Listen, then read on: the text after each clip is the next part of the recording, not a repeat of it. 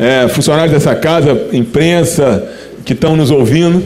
Antigamente, nessa casa, realmente a gente tinha uma coisa um pouco mais acertada. Tinha oposição, tinha situação, tinha um modelo tanto quanto mais é, tranquilo. Hoje, pelo que eu vejo, a oposição realmente talvez seja mais soft do que era no passado, por isso mais construtiva, e a situação, sem dúvida nenhuma, é muito mais estressante do que era no passado. É, isso daí é algo. A outra questão interessante aqui nessa casa hoje em dia também é que realmente a gente não conhece muito bem os papéis totais. Mas vou estar há pouco tempo aqui, então realmente não é, não é esse o foco maior. Mas em relação, senhor presidente, só para poder não me perder aqui, é, essa CPI, é, da, no, na legislatura passada eu assinei a CPI. E acho que, infelizmente, é, a gente não teve todas as respostas, talvez, que deveriam. Então, eu não tenho dúvida nenhuma que eu estou pronto a assinar qualquer CPI que tenha a questão do transporte público. Eu acho que isso aí não é ser contra governo, não é ser a favor de governo, etc. e tal. É apenas um esclarecimento que a população, sem dúvida nenhuma, quer saber. Né? Não é 100% a minha área, mas a população quer saber por quê que as coisas acontecem, por que, que a gente toda hora fala em superávit de milhões e milhões do governo nos jornais e os serviços públicos, infelizmente, tanto aqui nessa casa como em outros lugares, não estão à altura do que a população quer, sonha e merece. Não é culpa ou não culpa de ninguém, mas a gente tem que tentar é, trabalhar para que essas coisas possam ter celeridade. Senhor presidente, colegas vereadores, hoje eu quero falar de uma coisa muito melhor. Né? Quero falar aí de amor, de compaixão, de é, serviço ao próximo, da palavra chamada caridade. Eu acho que quando a gente fala de caridade, sem dúvida nenhuma, a gente está querendo falar do melhor que nós temos, que nós podemos oferecer. É, e a gente tem a Casa de Caridade em Macaé, né? o Hospital São João Batista, que sem dúvida nenhuma, se alguém em algum dia não precisou dessa instituição, ou para si, ou para a sua família, ou para algum ente querido, vai precisar. Mas eu não consigo acreditar que alguém nesse município, em 141 anos, não tenha alguém da sua família, alguém do seu lado, outras pessoas que não tenham utilizado em alguma vez desse, desse hospital que está no coração da nossa cidade. Eu posso falar em coração porque de coração eu realmente entendo. E aí o que, que acontece? Acontece, senhor presidente, que a Casa de Caridade está passando por problemas sérios por problemas de viabilidade, de subfinanciamento crônico, não é de hoje, né? A gente sabe como essa casa, como todos, sempre buscaram é, formas e a população de tentar fazer com que o hospital saia do círculo é, vicioso de alguma forma que existe, porque é algo técnico, mas a, a Irmandade São João Batista é, é uma entidade filantrópica. Para manter a filantropia, e isso faz com que não se pague alguns impostos, ela tem que atender 60% de SUS e 40% de pacientes convênio particular. Mas a tabela do SUS é uma tabela muito defasada. É uma tabela difícil e uma tabela que não consegue na medicina de alta complexidade hoje, principalmente, oferecer os serviços que são necessários. E aí o que, que acontece? Se nós não tivermos ajuda do poder público, se nós não tivermos subvenção, se nós não tivermos alguns instrumentos possíveis que existem, que são possíveis, a gente tem a Casa de Caridade Macaé da mesma forma que a gente vê várias outras santas casas no Brasil, com 12 bilhões de reais de dívida.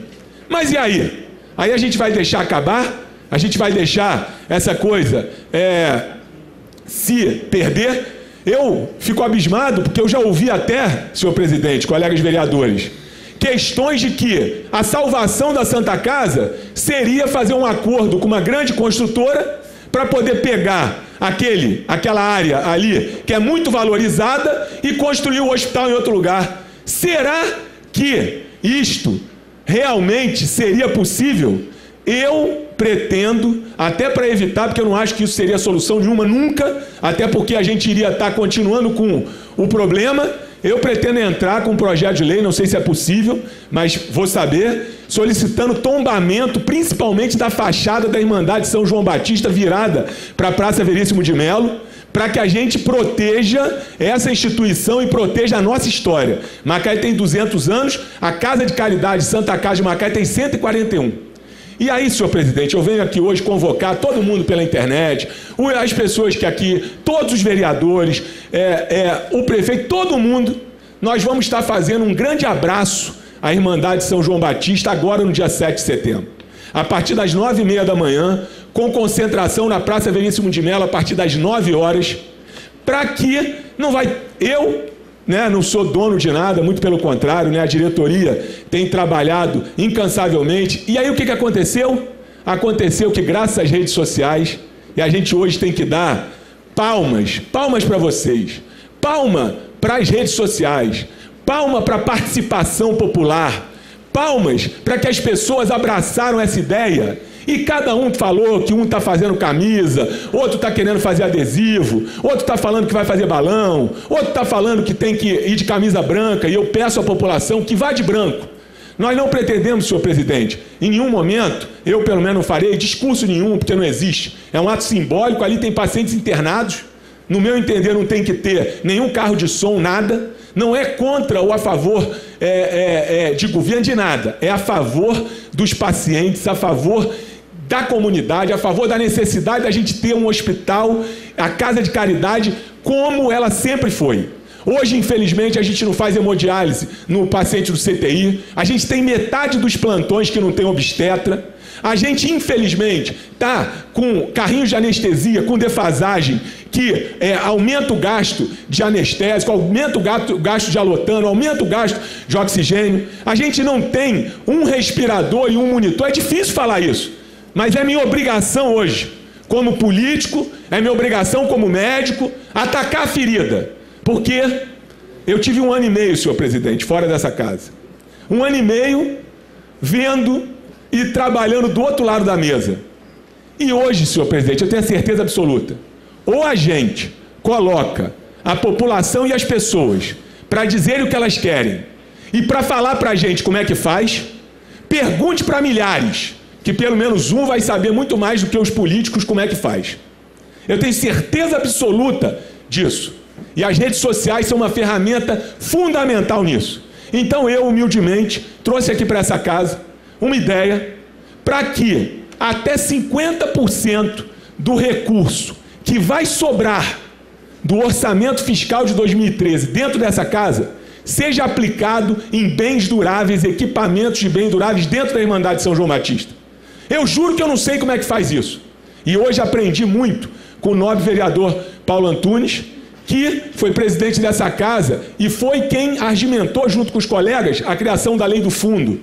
Eu imaginava, na minha ignorância, que através, já que a gente tinha um fundo e não era apenas recursos da Câmara, se a gente colocasse recursos nesse fundo e fizéssemos um adendo à lei do fundo, a gente poderia então abrir um processo licitatório e comprar, por exemplo, equipamentos.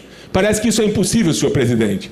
Mas é possível sim que através de vontade política, através de acerto do presidente dessa casa, que hoje está lá no São João Batista, e eu agradeço a ele por isso. Eduardo é um homem que dedicou a vida inteira àquele hospital. Entrou agora de licença do INAMP. Mas ontem eu tive com ele lá na frente da casa é, da minha mãe. E ele hoje está lá no São João Batista, conversando com a diretoria. E eu aprendi aqui com o nobre vereador Paulo Antunes que se existir acordo aqui dentro dessa casa, se existir a possibilidade que esse plenário autorize que a mesa diretora converse com o prefeito e já encaminhe a partir de hoje até, a partir de amanhã, um milhão, dois milhões de reais que seja, através de TED, para que o prefeito abra processo licitatório e compre equipamentos a gente ajuda a salvar a casa de caridade até o final do ano. Eu falo, senhor presidente, para acabar, de um equipamento apenas. A gente hoje não tem um arco em C no hospital funcionando dentro do centro cirúrgico que possibilite fazer cirurgias ortopédicas. Nem. Parte, por favor, por favor. Vereador Casamir, eu tenho certeza absoluta que ninguém tem mais interesse à Casa de Caridade do que o senhor e o presidente Eduardo. O presidente Eduardo dedicou a vida inteira né, à Casa de Caridade. E se nós vamos fazer a devolução de não sei quantos milhões no final do ano? Pode sim.